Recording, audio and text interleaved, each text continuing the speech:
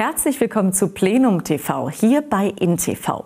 Während im Bundestag Schaukämpfe mit stiller Progression und dem Freihandelsabkommen stattfinden, sind bayerische Abgeordnete mit Sachpolitik beschäftigt.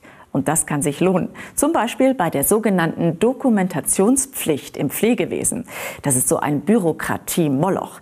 Die Pflegestandards müssen nämlich vom Personal aufwendig protokolliert und überwacht werden. Da bleibt immer weniger Zeit für die Patienten. Diese Dokumentationspflicht soll nach einem Antrag der CSU deutlich verringert werden. Ja, dieser Antrag ist natürlich absolut zu begrüßen. Er kommt auch von uns. Die Pfleger sollen sich um die Pflege der Leute kümmern und die Dokumentation sollte zurückgefahren werden. Und das beantragen wir und wir werden das also machen. Ja, es ist sehr wichtig, dass wir gerade bei den ganzen Pflegeberufen wieder darin zurückkommen, worum es eigentlich geht, nämlich dass Menschen anderen Menschen helfen und sich um die kümmern und pflegen. Und dieser Bürokratisierungswahn in der Pflege äh, muss eingedämmt werden. Da waren wir uns ja heute im Landtag über alle Fraktionen einig. ISA 2, Gund-Remmingen, Grafenrheinfeld. Nach Stilllegung sollen auch die bayerischen Atommeiler in eine Stiftung übergehen. Nachsorge und Entsorge sollen dann vom Staat erledigt werden, mit allen Risiken. Das haben jetzt die Betreiber vorgeschlagen.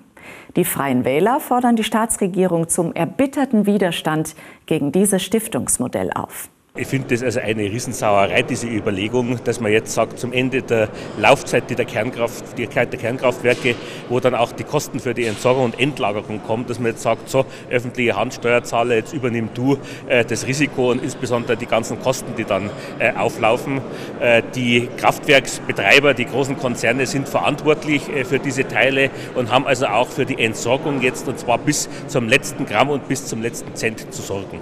Die Gesetzeslage ist so, dass das äh, momentan nicht möglich ist und es wird auch nicht möglich sein. Die Konzerne müssen die Kosten selber tragen. Deswegen, wie gesagt, den Sinn des Antrags der Freien Wähler habe ich selber nicht verstanden. Und das war schon wieder von Plenum TV mit den aktuellen Themen aus dem Bayerischen Landtag.